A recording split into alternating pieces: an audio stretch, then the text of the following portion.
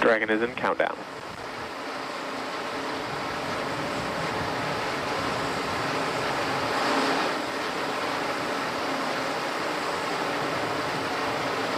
Dragon, SpaceX, Godspeed, go for launch. SpaceX Dragon, go for launch. T minus 30 seconds.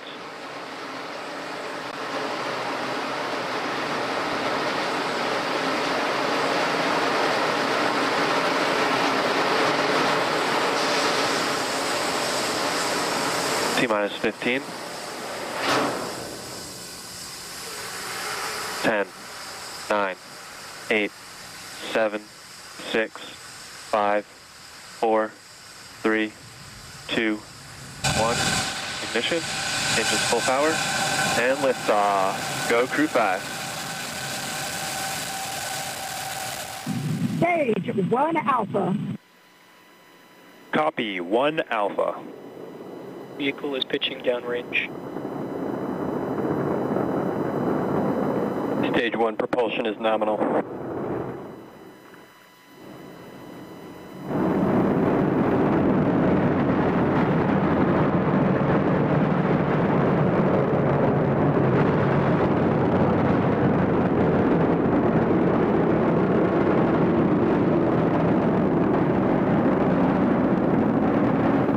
Nominal power and telemetry.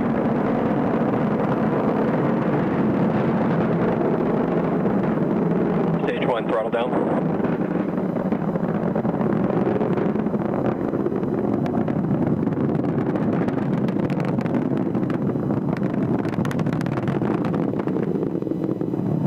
Falcon 9 is supersonic.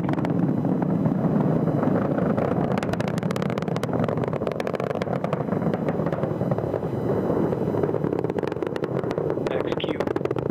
Stage 1 throttle up. Stage 1 Bravo. Copy, 1 Bravo.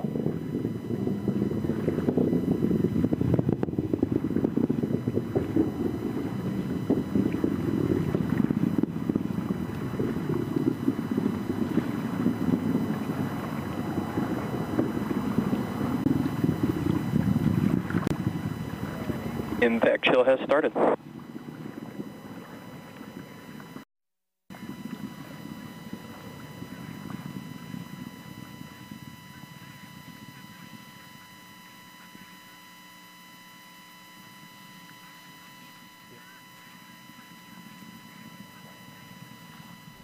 You know, we have watched so many of these, and it never gets old seeing that take take place. And just to let you know, in about a minute or so, we'll see the booster separation, and we'll continue to watch for that. But just an amazing sight. It really is, and on a clear day, you can sometimes see those boosters coming down. I witnessed that last week with the uh, the Falcon 9 that went up on Friday night. It's just the, the most amazing thing to know that those boosters are going to come down and land out on a barge in the Atlantic. Uh, but just Ryan, can you imagine the rush of emotions No, these astronauts I mean, we are talked feeling? about three of them brand new now. Uh, one of them was a Navy pilot, Nicole Mann. So she has gone very fast, but never has she, you know, they say they light the candle and take off like that. Never have you experienced that launch that they just experienced. Yeah, she is a uh, first-time uh, commander. She is the first female to command a uh, Crew Dragon capsule. Um, and then you've got uh, the uh, Japanese astronaut, who this will be his fifth mission. He's actually been up He's on done a lot of the space space shuttle Yes, missions, Space shuttle yeah. missions, three of those. Uh, he's 59 years old, and uh, this will be